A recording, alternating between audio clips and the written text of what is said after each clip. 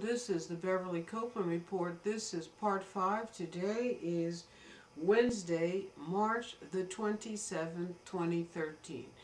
This is part five, the final part on the personal. Again, I'm doing the personal part, the first five parts, to let you decide what do you think? Do I have bad luck or am I the victim of a political hit? Either way, I have to leave this country as soon as humanly possible before I have a massive heart attack. Um, I, again, I have been told by activists from left to right that my problems are the political leadership, the Democrats and the Republicans. But under the Constitution of these United States, the only thing that I'm required to do, the only thing that you are required to do are to follow the laws of the land. I am clearly and unequivocally a law-abiding citizen. No one, therefore, has the right to interfere with me, try to break me, or to make me do anything that I don't want to do.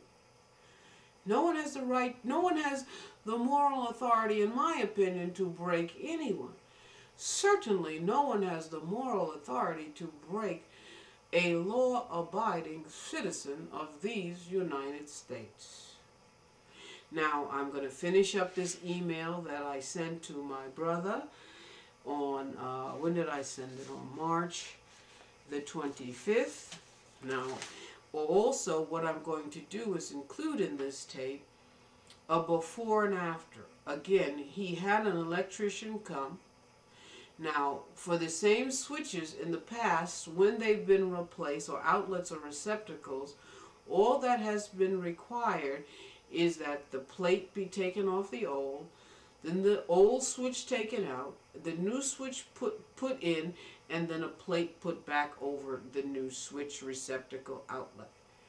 This electrician who my brother had, Wayne Thompson, made big gaping holes in the walls and the ceilings and uh, went up on the roof and took the lock off the inside door on the roof and then only when I uh, questioned why he did it did he go back and put the latches lock bolt back on the roof door. I'm concerned about that because my mother was sexually assaulted in this house. Moreover, shortly after he did that, I noticed that the stops on the windows in my mother's bedroom, again, my mother was sexually, had been taken out so someone could come in that window. So I barricaded that window, the windows, the window, that window in my mom's room with the furniture, with her furniture in her room, inasmuch as she is deceased and I'm the only one who lives in this house. Again, I'm going to include a tape, about two minutes or so, as part of this part five, and then after this, I'm going into the personal. Um, I called you, this is to my brother Oscar, this is the, the email. I called you four times this weekend, Oscar. However, you have not returned any of my calls. I found this quite disturbing, inasmuch as De Cruz is coming to this house today, Monday, March the 25th, 2013, to do the work you have hired him to do, including correcting the shoddy work that Wayne Thompson did, and also fixing the leak from the shower stall in the upstairs bathroom.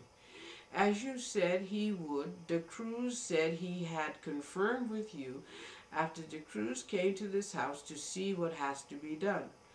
True, you are paying De Cruz of MC Home Improvement for the work that he's doing. You're paying him as the executive of our mother's estate, Oscar. My question, Oscar, is the one I have asked you several times.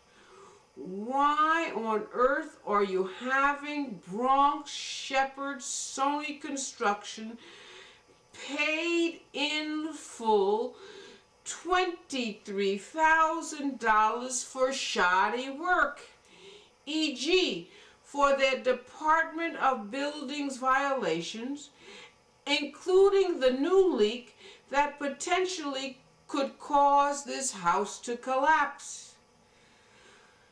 Finally, inasmuch as you are having them paid $23,000 for their shoddy work from the proceeds of the sale of this house, and you refuse to have them repair the stair lifts that they installed, and both do not work, Oscar, it is imperative that you have someone fix both stair lifts.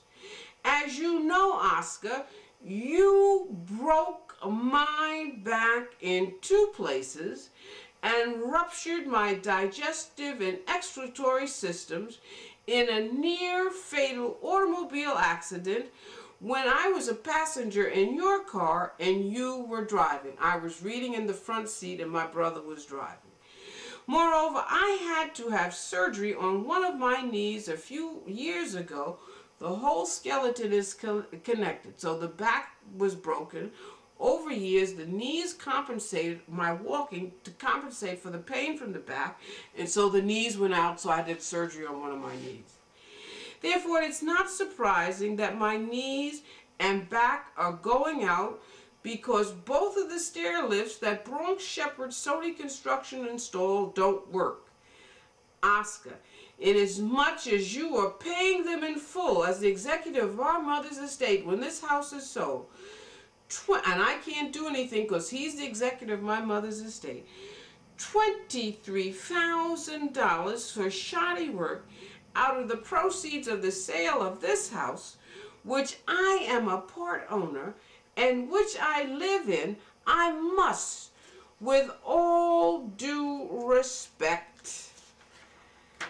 request that you have someone also fix both stair lifts ASAP. The manufacturer said they are designed simply and that they are not difficult to fix. Perhaps you can have Manny DeCruz fix the stair lifts when he comes today. DeCruz did not fix them. My brother said he shouldn't fix them. My final question again. Why on earth are you, as the executor of our mother's estate, having Bronx Shepherd Sony Construction paid in full $23,000 for shoddy work and not having them fix any of their shoddy work. De Cruz said, for example, the problem with the leak in the shower is related to shoddy workmanship. That is, Bronx Shepherd Sony Construction did not install a proper floor shower cover insulator to prevent such leaks. Even though, and so I had, I had to sign off. So I asked my brother, I can't, he is the executor of my mother's estate. my mother didn't, was told that she could only have one executor. she made my brother Oscar executor. That's not true. She could have had more than one. She would have. I was my mother's health care proxy because I took care of her, and my brother was the executor of her estate. So I wanted an autopsy of my mother's body when she died because I felt her she should not have died. Her medical team had said she should live to be over 100 years old. Yeah, 100 years. They revived her in the hospital, and then, as far as I'm concerned, they murdered her, and I think an autopsy would have revealed that at Montefiore Hospital. He refused to have an autopsy. Um, so he refused to have Bronx Shepherd Sony make do the corrective work. Now the Bronx Shepherd Sony came, so that made me feel uncomfortable with that. Because my mother and I sat down with my brother before Bronx Shepherd Sony came here and we showed him the literature, we told him about the accessibility program, so he approved of them coming and doing the work. So inasmuch as they've done shoddy work, and my mother and I have tried to do everything to get them to uh, correct the shoddy work that they've done, including, as the police told us, have the Department of Buildings come here, my brother refuses to make them, hold them accountable. I don't understand it. But I do know that all of this is taking a toll on my health, and I have to get out of here. I have to get out of America. I have to get out. And the sooner I get out, the better. because there's certain things I'm just not going to do. I'm just not going to do. I'm just not going to do. And the cops are not going to do anything. They're not going to do anything. They're not going to do anything. And I told my, I sent my brother and I sent my brother another email. His wife, Stephanie, acts like she's Don Corleone, the god of mafia's uh, daughter. I don't have anything to say to his, his this is his second. I don't have anything to say to her. I avoid her like the plague, just like I avoid these neighbors. Not because I'm just a snob, it's because I have standards in Martin Luther King's sense because the content of their character is garbage. She acts like she's a, a mafia, uh, you know. And you know, I'm not impressed with criminals. I'm not, they just don't impress me, criminals. You know, if she acts like she's Don Corleone's daughter, I'm not impressed with, so what? I'm not impressed with that garbage. In Martin Luther King, that's why I have nothing to do with the neighbors around here. I would never have anything to do with these people. It's beneath me because of the content of their character. Martin Luther, using Martin Luther King's criteria, the content of their character, it would be beneath me to have anything to do with these people. What they did to my mother, what they're doing to me. My mother complained about the neighbors banging on the wall, bullying her, telling her to fall to her medical team, etc., etc. I have complained to the cops too. She complained, they do nothing. um, so I didn't go to when he he announced that he was marrying this Stephanie. I didn't go to the wedding. I refused to go to the wedding. But uh, she acts like my mother owes her something. My mother does not owe my brother's wife a goddamn thing. She didn't leave Stephanie anything in her will. She doesn't owe Stephanie anything. Presumably, Stephanie knows who her mother is or was. Certainly, her mother, my mother, was never Stephanie's mother. It was my mother's prerogative not to leave Stephanie anything. And I hope my brother communicates to Stephanie that my mother owes her nothing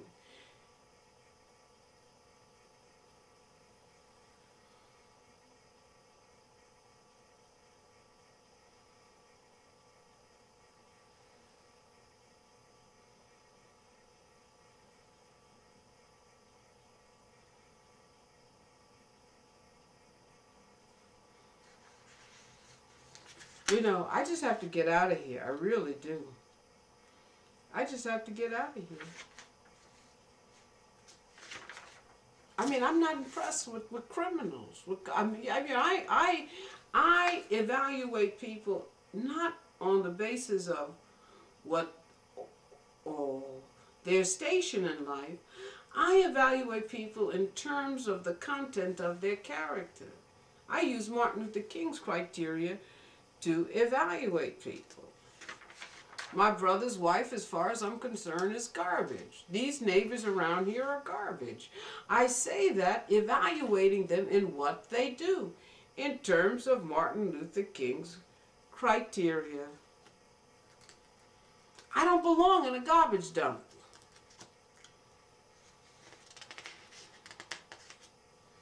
And I don't plan to stay in one. Now, another thing I, I mentioned to my brother, the, when, the, when the people who were supposedly quote unquote buying this house sent their appraiser to this house, over me, the appraiser asked my brother, how much is the house, the contract that he signed for the house, sale of this house? My brother said over that man, $396,000. I said, what, Oscar? I thought you said the most you could get for this house was $296,000, probably less. And so the contractor looked at him, and he said, oh, 296. So then the contractor said, okay, you signed a contract for $296,000. I said to my brother, Oscar, how can you sign any contract? I am one, I'm a one-third owner of this house. Why didn't I get a copy of that contract? How can he sign contracts for the sale of this house and I'm not getting, I don't know if my sister got a copy of it. I didn't get anything. So to me, $296,000, true, it's in the boogie down Bronx, but my mother's put a lot of work in this house. You wouldn't think it's in the boogie down Bronx. So I went around the corner to the local real estate agent, Blake, reputable, and he said these houses, the house my mom has, should sell it for around $400,000, which was consistent with, the, they say they, the range is from 350 to 400,000. True, it's in the boogie down Bronx, but I figured, okay, my mother put a lot of work in it, okay, 400,000. But then I even looked at the, uh, uh, the, the estimate by my brother's lawyer, and he said 350,000. So where's my brother selling it for 296? And he and if I had and so when the appraiser was coming, he said, I don't have to be there when the appraiser. I said, Yes, you do. I insisted that he come. It's a good thing that I did. Because the appraiser said how much? He said 396 and I said, What? I thought you said the most 296. Then Oscar said 296. Then the appraiser said the contract is worth 296 and with the look on my brother's face, I don't know what's going on my brother was supposed to give to me the documents for from the from the last insurance claim. The tra- my mother blew everything reputable. Travelers insurance. She was supposed to give me the before and after pictures and the settle how much travelers settled, how much he, he received from travelers, how much he paid to the to, to, to the contractor. Was there money left over? My brother has not given me anything. I don't know. I told my brother and his lawyer they should give me, they're required to give me and my sister too, all documents concerning the sale of this house.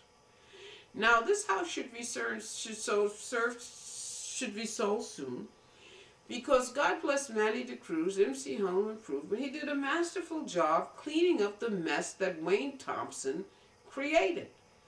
So when the Department of Buildings comes back to inspect the house, it should get a clean bill of health, and therefore it should be sold relatively soon. Now, uh, one thing I, my brother knows, I know very powerful people. If he so much as does anything shady, I'm calling people I know, a law professor, federal judge I know in Washington, D.C. And uh, God help him if he just slips. I'm going to have him crucified because I'm tired of him and all the monkey business. Because this house should be sold for $396,000, at least $400,000. All right, he's selling it for 296 I want all, and if he's paying Bronx Shepherd Sony $23,000, it's not really supposed to go to Sony Bronx Shepherd. It's supposed to go to the state of New York because it was for uh, an accessibility, state-funded accessibility program. Bronx Shepherd Sony at this point have to have been paid by the state already. So through that federal judge, for federal judge, I'm going to follow the money. Where does all the money go? and the stair lifts are broken, he won't have them fixed. If within the first year, Bronx Shepherd Sony said anything goes wrong, stair lifts, they'll fix them for free. They won't fix the stair lifts. And it's very hard for me because again, my brother broke my back in two places, ruptured my digestive and excretory system, etc., etc., in a near fatal automobile accident in his car. He was driving, I was in the front reading. In fact, I was at the Roosevelt Hospital, one of the top hospitals in the city, and they never expected me to walk again. Never did. They had doctors from around the world examine me because given the, the imaging, the x-rays at that, there was x-rays at that time of my back, they said in the history of the Roosevelt Hospital, one person had ever sustained that kind of, those kind of fractures to the back and be able to been able to walk again. And obviously I can. But over time, since all the bones are connected, they warned me about that. my other bones are, are going out, like to compensate for the pain in the back. The way I my gait has been out, so my knees went out. I had to have surgery on my knee a few years ago. But I knock on wood, I had enough sense when I left the hospital to stop using and in the hospital not use that much pain medicine because I would be a basket case today if I had used pain, I, I just live with pain. People say, why don't you smile? I'm in pain. Let me tell you, oh, you break your back the way I did. Anyone will tell you she lives with pain. And the knees now, the back is like second nature. I don't even think about back pain. It's just something I live with. But the knees are, are a constant struggle.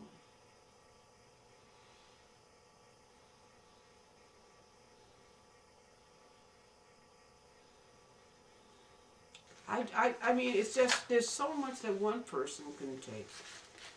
So much that, I mean, I was told by a government-funded advocacy group that I should get out of the country anyway, that my brother is trying to get me out the picture to take my share of my mom's uh, estate. What did my mother, at 90 years old, what did she have? Basically, well, she said she had an account with $90,000 in it, but I didn't see it in any of my brother's documentation. And we went to the bank and we saw a lawyer try to get it, but my mom died before we could follow up on that. So basically, it's this house. And um,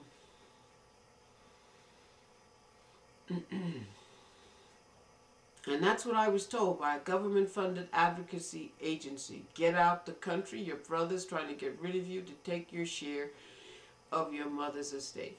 When my mother was alive, I was told by a, a, a crimes victims chief at the Bronx District Attorney's Office that my brother was trying to appropriate my mother's assets.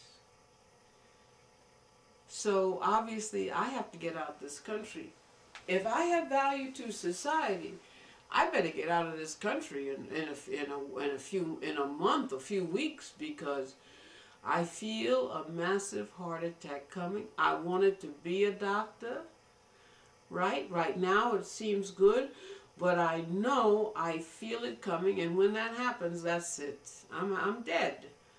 Do I have value to society or not? I have my health demands that I get out of these United States of America.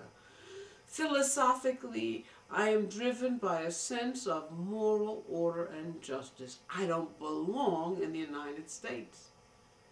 Everything that the Clintons, the Bushes, Obama, McCain, Bloomberg, Schumer, Columbia, NYU, everything that the American political intellectual, Biden, everything that the American political intellectual class stands for violates my sensibility.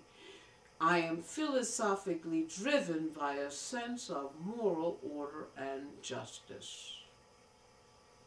I don't belong in the United Therefore, I do not belong in the United States.